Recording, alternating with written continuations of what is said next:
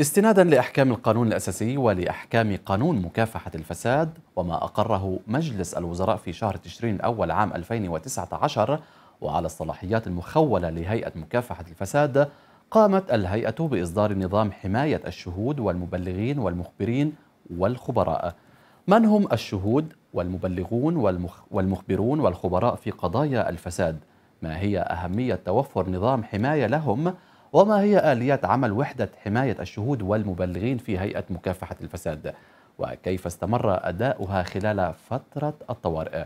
للإجابة عن كل ذلك يسرني أن أستضيف اليوم الأستاذة ولاء عبد الله رئيس وحدة حماية الشهود والمبلغين في هيئة مكافحة الفساد. أهلا بك أستاذة ولاء. أهلا فيك.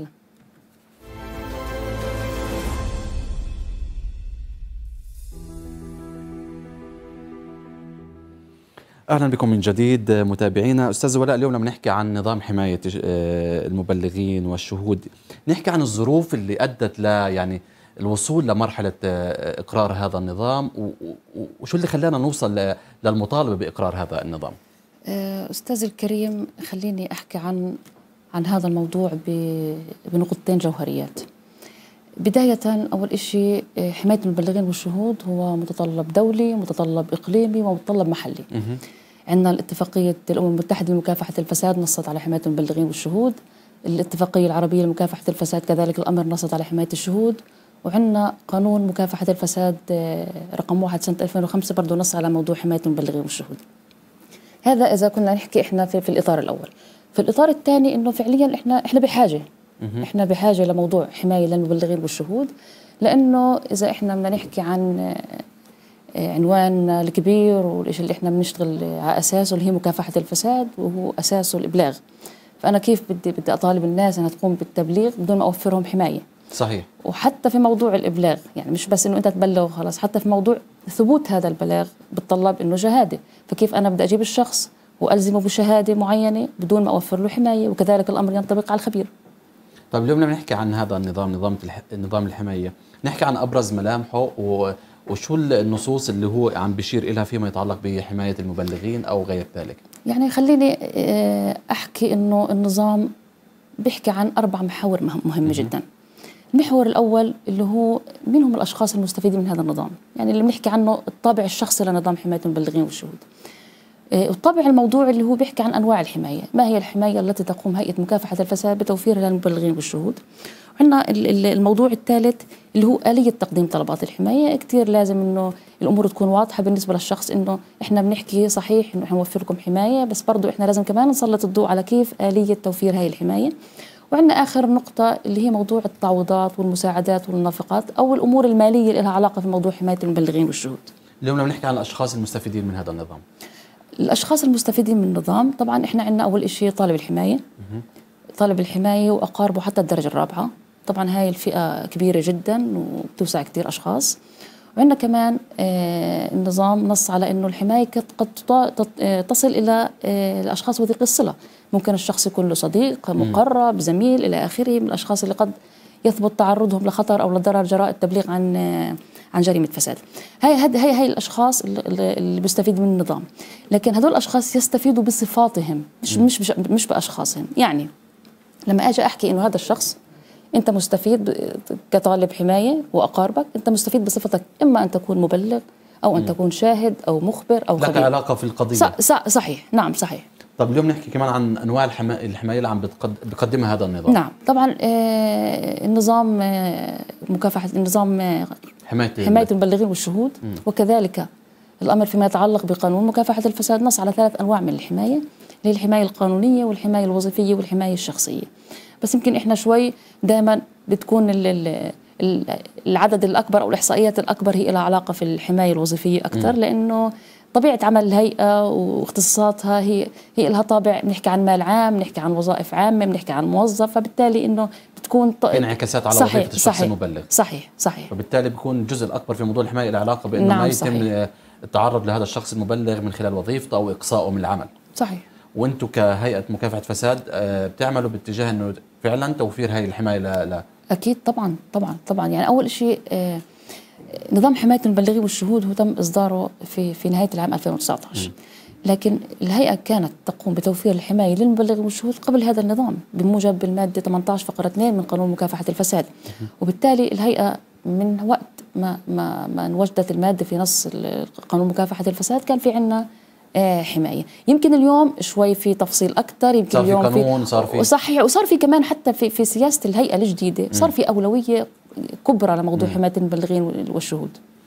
اليوم لما نحكي أيضا عن موضوع يعني عندما نتحدث عن حماية المبلغ والشاهد والمخبر والخبير يعني أيضا من الضروري أن نتعرف على يعني الفرق بين كل شخص من الذين تم ذكرهم. صحيح. أول شيء آه، عندنا المبلغ طبعا إحنا بنحكي مبلغ أو مشتكي. هو الشخص اللي بيقوم بالتوجه للهيئة أو أي جهة مختصة لتقديم آه، واقعه فساد واقعه فساد عندنا الشاهد بكون الهيئة محتاج محتاجيته في في في في واقعة معينة بيتم إثباتها من شهادة هذا الشخص. فالشخص هذا بيقوم بالإدلاء بالشهادة. وطبعا مش بالضرورة تكون الإدلاء بالشهادة فقط في هيئة مكافحة الفساد. م. فممكن أن يتم الإدلاء بالشهادة في في الهيئة أو في في المحكمة أو حتى في النيابة العامة. صحيح.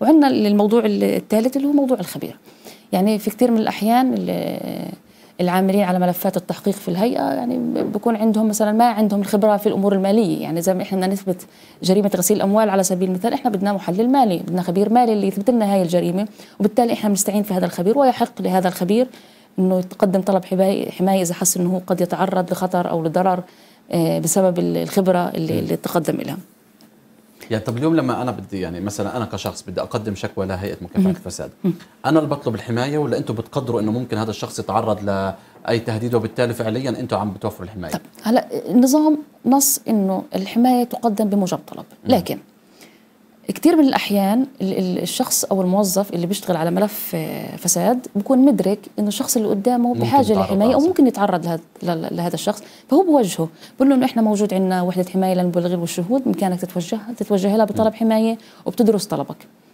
اليوم نحكي آه، فيما يتعلق بشروط الاستفادة من م. الحماية، هل هناك شروط محددة تنطبق على الاشخاص اللي بيطلبوا الحماية؟ صحيح. في موضوع الشروط آه، برضو عندنا جانبين مهمين جدا، م. أول شيء في عندنا شروط لقبول طلب الحماية. أول شيء أنا بطلع لما يجينا طلب حماية أقبله أو ما ما أقبله. آه إنه يكون الشخص مقدم الطلب هو شخص حسن النية.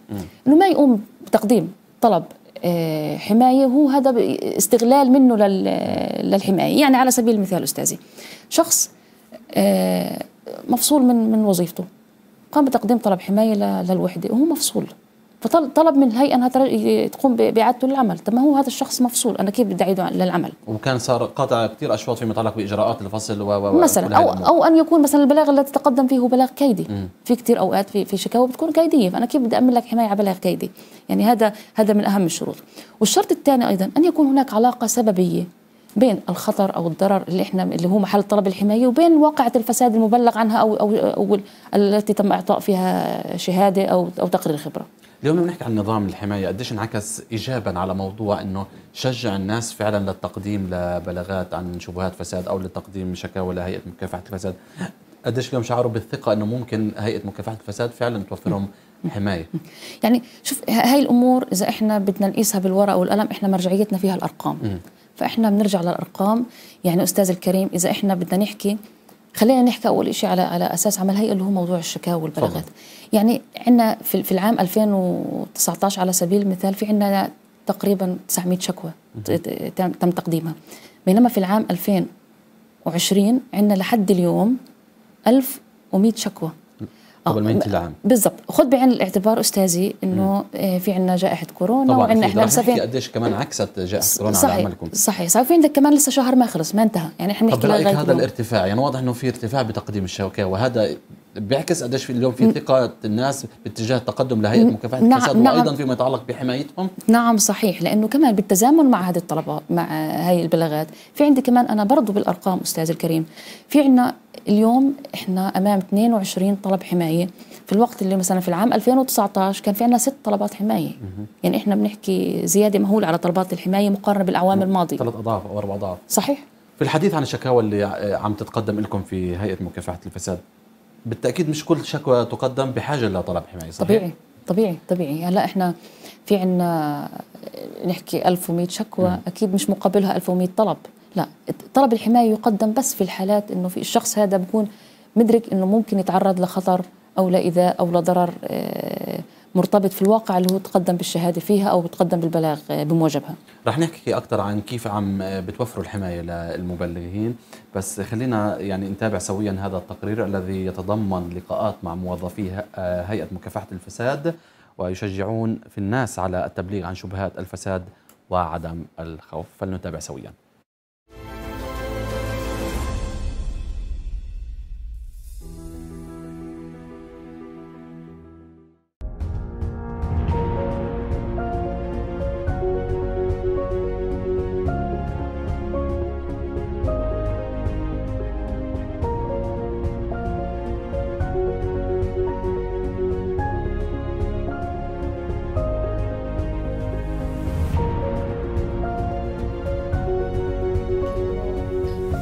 طلبات الحماية اللي تم تقديمها إلى هيئة مكافحة الفساد هي طلبات مجابة والهيئة هيئة مكافحة الفساد تقوم بمتابعة عن كثب موضوع ومصير هذه الطلبات والتواصل مع الأشخاص المشمولين في الحماية. وفي عندنا تجارب كثير ناجحة في هذا الموضوع. منذ تولي الدكتور أحمد براك رئاسة هيئة مكافحة الفساد أصدر تعليماته الكريمة بضرورة إكمال المنظومة القانونية لهيئة مكافحة الفساد. وكان من أهم المنظومة القانونية نظام حماية الشهود والمبلغين. تم عمل نظام حماية الشهود المبلغين وتقديمه لمجلس الوزراء تم إعداده والسير بالإجراءات في القراءه الأولى والثانية والثالثة وصدر عن مجلس الوزراء وتم نشره في الجريدة الرسمية بتاريخ 28 11 2019 بس هذا النظام ما راح يضل طويل الادراج لازم تبلغ عن قضايا الفساد. مجرد تبليغك عن قضايا الفساد هيئة مكافحه الفساد راح توفر لك الحماية الشخصية والوظيفية والقانونية. الحمايه الوظيفية؟ معناها إنه هذا الشخص محمي من اتخاذ أي قرار يغير مركزه القانوني ومحمي من أي تمييز عنصري في مكان عمله. وأما بخصوص الحماية القانونية هي بمثابة الحماية من الإجراءات التي قد تتخذ ضد الشخص اللي قام بالتبليغ أو بالشهادة في هيئة مكافحة الفساد. وانه أيضا الحماية الشخصية اللي هي بتشمل ثلاث أنواع من الأضرار وهو الضرر المعنوي والضرر المالي والضرر الجسدي. إحنا وإنت بنكافح الفساد إنت ببلاغك إحنا بإجراءاتنا وبتوفير الحماية لك الإبلاغ عن الفساد يعزز الوقاية منه وهو شكل من أشكال المواطنة. بحب نطمنك إنه هيئة مكافحة الفساد بتوفر لك كافة أشكال الحمايه اللي بلغ وإحنا بنحميك. مش عبارات بس إحنا بنحكيها دائما على الإعلام أو على أي مواقع التواصل الاجتماعي. هي عبارات حقيقية. ما تحكي ما دخلني. بلغ.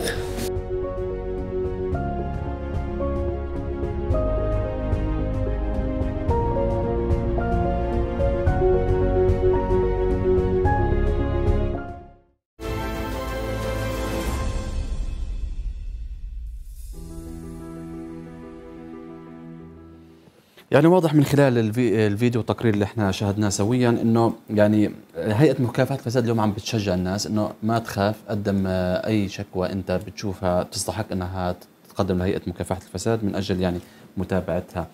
آه هذا بخلينا آه يعني باتجاه أدفع آه نحو السؤال يعني آه عن موضوع الحماية، نحكي عن أشكال هاي الحماية اللي أنتم عم بتوفروها للمبلغين وكمان يعني في شيء لفت نظري إنه اليوم هذا النظام بالآخر كمان عم بعطي عنصر قوة لهيئة مكافحة الفساد وأيضا للشخص المبلغ. صحيح.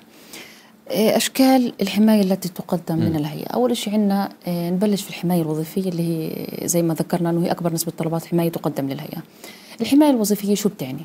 بتعني إنه الهيئة بتقوم بكافة الإجراءات اللي من خلالها بتحول دون اتخاذ أي قرار يمس م. المركز الوظيفي أو الإداري للشخص طالب الحماية.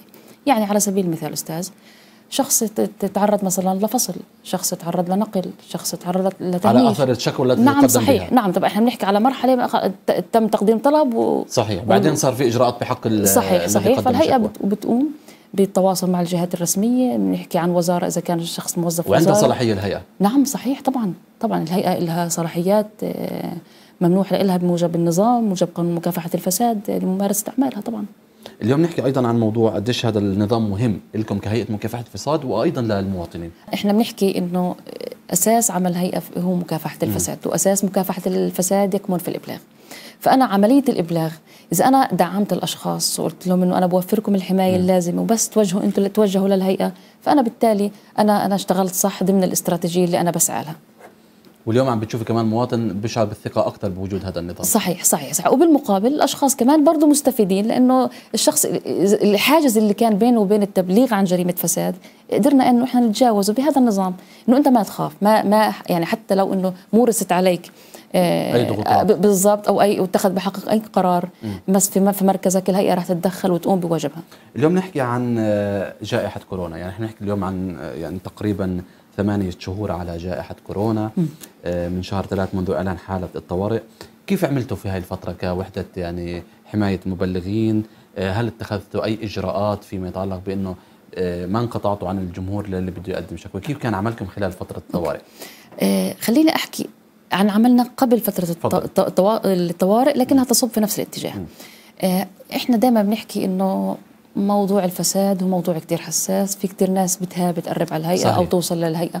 وبالتالي صار في عندنا إنه إحنا تصور إنه ممكن إنه إحنا نوصل آه، الشخص يوصل شكوته أو بلاغه أو أي معلومة بده يقدمها بدون ما يوصل للهيئة بدون ما يبين حاله. ففي عندنا إحنا آه، وسائل التواصل الحديث اليوم. آه، في عندنا تطبيق ذكي في عندنا ممكن عن طريق فيسبوك ممكن عن طريق إيميل في عندنا ب- باي بأي وسيلة إلكترونية. يعني يعني فراس اذا إذا يعني ممكن الشخص يقدم الشكوى ص- البلاغ صحيح، كان موجود صحيح، في مكتبه صحيح. أو في بيته أو في أي نعم مكان. صحيح. حتى تخيل أن نسبة آه، البلاغات التي قدمت ب- ب- بالوسيلة الإلكترونية هي 70% من البلاغات التي تقدم للهيئة وهذا رقم يعني كبير بعطيك- جداً، نعم صحيح. صحيح وبعطيك تصور. وبالتالي في, في إحنا عندنا المنهج ال- ال- ال- الإلكتروني أو اتباع المنهج إنه آلية العمل ب- بالضبط الإلكترونية. ال- آلية العمل الإلكترونية أو العمل عن بعد خلينا آه. نحكي فيما يتعلق في استلام الطلبات كانت موجودة من قبل قبل كورونا جائحة كورونا. آه وهذا الحكي كمان يعني إحنا مع كورونا ساعدكم أنه كان في آلية فعليا نعم موجودة نعم نعم صحيح نعم صحيح فإحنا اليوم آه، على مستوى طلبات الحماية اليوم الشخص مش مضطر يوصل للهيئة إحنا مزبوط بنحكي إنه الشخص لازم يكون بتقديم طلب حماية ويرسل للهيئة لكن إحنا ممكن يبعث لنا إياه واتساب ممكن يبعث لنا إياه على صفحة الهيئة ممكن يبعثه على التطبيق الذكي ممكن إحنا نتواصل معه على الهاتف بدون ما يتحرك من من منزله طول ما هي المعطيات كافية آه لكن في عندنا شيء كتير مهم إنه الشخص ما دام تم قبول طلب الحماية له فلازم يتوجه للهيئة على أساس يستلم ق- قرار أو أو الطلب صحيح. القبول ويوقع على تعهد بالالتزام ب ب بال بال بال بال بالشروط اللي أنتم صحيح. نعم صحيح فيما يتعلق بتوفير الحماية أيضا للمبلغين آه، في تعاون مع الجهات التنفيذية في توفير الحماية للمبلغين يعني مثلا على سبيل المثال مع الشرطة مع الأجهزة الأمنية كيف بيتم التعامل مع أكيد. هذا الموضوع؟ آه، إحنا آه، موضوع الحماية الشخصية هو موضوع إحنا بنحكي عن آه، عن أمن. بنحكي إنه الشخص هذا إنه الهيئة تتدخل بإنه لا يتم مساس هذا الشخص على مستوى الأمور المادية، الأمور المعنوية، الأمور الجسدية. وه- وهذا النوع من الحماية بتطلب وجود الشرطة، وطبعا إحنا في عندنا مذكرات بيننا وبين الشرطة. وعندنا كل طلبات الحماية التي تقدم لهيئة مكافحة الفساد يتم العمل بها آه، وحدة الحماية بالإضافة ل- للشرطة. يعني حتى حتى على موضوع التوصيات اتخاذ القرار وال- والموضوع تقييم المخاطر كل هاي الأمور بتصير بيننا وبين آه، ضابط الاتصال بالشرطة. اليوم يعني أنا على سبيل المثال أيضا إذا تقدمت بشكوى لهيئة مكافحة الفساد وأيضا طلبت آه، يعني بتوفير الحماية من قبل هيئة مكافحة الفساد إلى متى تستمر هيئة مكافحة الفساد في توفير الحماية لي؟ هلا آه نظام حماية المبلغين والشهود ما أعطى مدة لل- للحماية ولكن في عنا آه، برضه جزئيتين مهمات مهمات. أول شيء في عنا شيء اسمه إعادة تقييم الحماية. شو يعني إعادة تقييم الحماية؟ يعني ممكن الشخص يطلب من الهيئة إنه خلص أنا أنا بدي تخففوا عن الحماية أو بدي تزيدوها أو بدي بغض النظر ممكن يكون طلب من الشخص أو ممكن الوحده تكون كل فترة بتق- باعاده تقييم طلبات الحماية لأنه ما بينفع الحماية تكون مستمرة مفتوحة. مستمرة. بالإضافة للموضوع الآخر اللي هو موضوع انقضاء الحماية. انقضاء الحماية إمتى بيتم عندنا انقضاء؟ في ثلاث حالات. الحالة الأولى إنه إذا الشخص خالف شروط منح الحماية. م? وال- والحالة الثانية إنه الشخص تقدم بطلب قال للهيئه أنا خلاص أنا هيك ما أنا اكتف أنا أنا اكتفيت وبتمنى ترفعوا عن الحماية. والحالة ال- الثالثة اللي هي انتفت الحاجة. يعني شخص مثلا غير عم... آه، وظيفته لوظيفة ثانية فبطل في في داعي إنه أنا أعمل له حماية وظيفية لأنه هو انتقل من وظيفته على سبيل المثال. طب في حال تم الاعتداء على أحد المبلغين وكان طالب الحماية من طرفكم آه، شو الإجراءات اللي أنتم عم راح تأخذوها بهذا الاتجاه؟ طبعا هلأ هذا بيعتمد آه، على شغلتين مهمات. أول شيء شو نوع الحماية اللي طلبها يعني إذا كان على سبيل المثال مقدم حماية وظيفية. طبعا. فإحنا بنكون بتواصل مع المسؤول تبع هذا الشخص أو مصدر القرار ونطلب منه إنه بنعلمه طبعا إنه إحنا وفرنا لهذا الشخص هو خاضع لحماية الهيئة. بنعلم إنه بعدم آه، جواز إصدار أي قرار. أي قرار تمس يمس في حقه تحت طائلة المسؤولية القانونية. طبعا دائما أنا بقول كل طلب حماية مختلف له وقائعه وله حيثيات مختلف عن الطلب الثاني. وبرضه إجراءات اللي بتتخذها الهيئة مختلفة عن من الحماية الوظيفية للحمايه الشخصية للحمايه القانونية بحسب حسب نوع الحماية بس أكيد بالتأكيد يعني في هذا الموضوع الموضوع مش كثير سهل إنك توفر حماية لهذا أكيد. وأكيد في تحديات عم طبعاً. بتواجهكم طبعاً. في نحكي عن أبرز التحديات ممكن تواجهكم في هذا المجال يعني اول أول شغلة أنا دائما بحكيها وبعيدها إنه التحدي الأكبر اللي إحنا عارفينه التحدي لنا والتحدي لكم والتحدي لأي مؤسسة مفكرة تشتغل في هذه البلد هو الاحتلال رقم واحد. آه، موضوع الت- التقسيمات. يعني أنا مثلا الواحد يجيني مثلا آه، هوية هوية مقدسية مثلا تقدم لي بطلب حماية أنا رح يكون عندي مشكلة إنه أنا أحميه في في في محل معين يعني. آه، فهي مشكلة. بس أقول هاي مشكلة مش كتير بإيدنا. في مشاكل تانية شوي بإيدنا يعني وأنا بعتبرها برضو تحدي كبير للهيئة اللي هو الترويج للإشاعات. الترويج صحيح. اليوم لما للإشاعات تشوف العالم على صحيح ال social media مفتوح الكل عم بيطلق معلومات غير صحيحة بدون مصادر وبدون كذا. صحيح صحيح وال- وال- والهيئة لا تملك في هذا المجال إلا إنه توعي و... وتتوجه للناس ب... ب... ب... بشو بتشتغل هي أكثر من هيك ما في الحديث بتقدر في الحديث عن يعني التوجه للناس وحملات التوعية يعني إحنا بنعرف قديش هيئه مكافحة الفساد عم تشتغل في هذا السياق وبنشوف يعني حتى هاي الحلقة هي جزء من يعني صحيح. إطار آه، توعية صحيح. المواطنين اليوم كل الحملات التي قامت بها الهيئة شجعت على التبليغ على شبهات الفساد أكيد. يعني قديش كان لها أثر هذه الحملات على فعلا تشجيع المواطنين بالتوجه نحو هيئة مكافحة الفساد صح صحيح يعني خلينا نحكي بشكل عام إذا في تم إقرار نظام معين. هلأ الأصل النظام يتم نشره في في, في الجريدة الرسمية صحيح. والأصل إنه الشخص اللي معني بتبع لهذا الموضوع لكن معظم الناس مش كتير مش كتير على اطلاع إنه في نظام تم إصداره لأنه الناس بشكل عام مش كتير معنية في, في, في, في هذا المجال. فاجى من هون دور واجب الهيئة. الهيئة من بمجرد ما تم آه، إصدار نظام حماية المبلغين والشهود عن مجلس الوزراء قامت بحملات التو- التوعية يعني على على مستوى رهيب جدا رغم جائحة كورونا ورغم التقيد اللي اللي والتسكير والإغلاقات الا إنه آه، قامت بعمل بتنظيم ورشات آه، ضمن البروتوكولات الصحية. وبنحكي كمان الأرقام اللي حكيتها لحضرتك إنه إحنا عندنا اليوم 22 طلب مقارنة بست طلبات العام الماضي فهذا أكبر دليل إنه حملات يعني توعية أتت- بس حابب أحكي عن 22 طلب. طبعا يعني لأنه نحكي شوي عن طبيعة الطلبات الحماية هاي التي قدمت لكم. 22 طلب شو طبيعة آه، 22 طلب آه، تقريبا 12 طلب آه، حماية وظيفيه تقدموا وما بتق... ما تبقى من الطلبات عندنا ثلاث طلبات قانونية والباقي هي حماية شخصية تقدمت للهيئة. آه، طبعا ما يقارب ال 13 طلب آه، تم قبوله وباقي الطلبات آه، تم رفضها. وطبعا بالقبول وبالرفض إحنا في عندنا تسبيب لأي قرار صادر عن الوحدة. إنه أنا برفع توصيتي لمعالي الدكتور آه، بقبول الطلب أو برفضه. طبعا معزز إنه أنا ليش قبلت وليش رفضت من آه، في عندك تقييم لا طبعا لا. طبعاً. اليوم آه، قديش أنتم عم بتشوفوا إنه يعني مهم جدا آه، تعزيز ثقة المواطنين بعمل هيئة مكافحة الفساد. وأيضا إحنا بنعرف دائما لما بنحكي عن موضوع هيئة مكافحة الفساد بشكل عام دائما الناس في في عندها نقاش حول هذا آه، الموضوع. برأيك قديش مهم يكون في تعزيز لثقافة الناس باتجاه إنه أنت عندك آه، أي ملاحظة أو أي شكوى لا تتردد. لا بالعكس في عنوان اليوم اسمه هيئة مكافحة الفساد. وإحنا كجهة رسمية راح نتابع الموضوع. يعني دائما أنا ب- برضو برجع بقول إنه أكبر تحدي أو أكثر صعوبة ممكن إن أنت تواجهها في حياتك إنه أنت تقعد تقنع الناس ب- ب- بأفكار يعني خلص إنه الواحد يتعود عليه ربي عليه انطباعات. بالضبط بالضبط الانطباع صعب إنك أنت تغيره إلا بدك بدك تجتهد الوقت. وبد- مع, مع الوقت بدك بدك تبذل كثير جهد وبدك تكون ما تنصدم بالأشياء اللي صحيح. تمر رح تمر فيها فعشان هيك آه، إحنا بنطلع وبنعمل توعية ولقاءات. ولقاءات وإلى آخره. لكن آه، في في في ردود أفعال إيجابية وكذلك الأمر في ردود أفعال سلبية. لكن أنا شايفة إنه الوضع كتير منيح إنه إحنا وضع بتحسن عماله.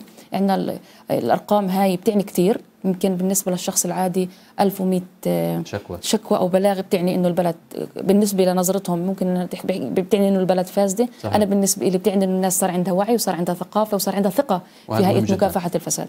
اليوم أيضا فيما يتعلق إحنا بنحكي عن معلومات الأشخاص اللي بيقدموا الحماية وأيضا الشكاوى. قديش بالنسبة لكم مهم موضوع سرية ال- هذه المعلومات وقديش أنتم بتحافظوا على خصوصية المبلغ؟ آه، بالإطار العام كل ورقة تقدم لهيئة مكافحة الفساد هي ورقة سرية. هذا بالأصل. سواء إحنا بنحكي عن تحقيق بنحكي عن شكاوى بنحكي عن بلاغات بنحكي عن حماية شهود فهي سرية. ولكن في عندنا خصوصية في موضوع حماية المبلغين والشهود. موضوع حماية المبلغين والشهود في سرية عالية جدا. لأنه إحنا الشخص ما بوصل مرحلة إنه بتقدم لوحدة حماية المبلغين والشهود في طلب حماية إلا إنه الموضوع عنده واصل مرحله مرحلة الخطر. صحيح. فبالتالي في عندنا سرية والنظام طبعا حكى بتفصيل عن موضوع السرية وعن وجود خزائن حديدية والتعامل مع الطلبات بسرية و... وممكن الشخص حتى اسمه ما ينحط على الطلب ممكن يحط رمز بدل اسم وكل هالأشياء متوفرة لأي شخص عم نعم صحيح. طب اليوم إذا بدنا يعني في في ختام هذا اللقاء يعني اليوم لو بدنا بس نعرف المشاهد أكثر عن آلية تقديم الشكوى وأيضا آلية تقديم طلب الحماية، كيف الإجراءات اللي بيمشي فيها الم- المقدم الشكوى أو المبلغ؟ هلا موضوع الشكوى يمكن أسهل إجراء ممكن يعمله أي شخص إذا أنت آه، في بين إيديك معطيات بتدل هاي المعطيات على وجود شبهة فساد أنت ممكن تتوجه لهيئة عبر تطبيق آه، الهواتف الذكية ممكن تتوجه للهيئه عبر صفحتها على الفيسبوك ممكن تتوجه للهيئة عبر عبر الإيميل ممكن عبر الفاكس ممكن تتوجه شخصيا إذا حابب أنت تيجي وت- وتعلن شخصيتك وتحكي عن اسمك وياخذوا إفادتك وإلى آخره. هاي هاي هاي القنوات بشكل عام اللي ممكن الشخص يتوجه لها. وممكن في في في موضوع طلبات الحماية طبعا إحنا في عندنا نموذج مخصص لطلب الحماية. فهذا الشخص بيتوجه للهيئة وبيقدم هذا النموذج. وكمان مرة زي ما تفضلت حضرتك إنه مش بالضرورة الشخص منه لحاله يجي ممكن إنه حدا بالإدارة العامة للتحقيق أو بالاداره العامة للشكاوى. يوجهه لوحدة حماية المبلغين والشهود بقوم بتقديم هذا الطلب. وهذا الطلب بيتم آه، طبعا توجيهه لرئيس هيئة مكافحة الفساد ورئيس الهيئة بتم آه، إحالته لوحدة حماية المبلغين والشهود اللي بتقوم بدراسته خلال مدة آه، سبعة أيام.